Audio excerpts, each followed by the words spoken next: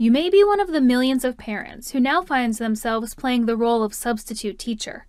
So Newsy did some homework and asked the experts, how do I keep my child engaged and on task? I break things into bite-sized lessons and I make sure that I'm focusing on one thing at a time. And so if I'm doing fractions, I'm not going to do common denominators or at least common multiple. I'm just going to focus on fractions and I'm going to keep that lesson as short as possible. Having a routine is essential. Like when I used to teach middle school, my students uh, knew how to behave immediately after entering into my classroom. So, and they knew what to do, they knew what to expect.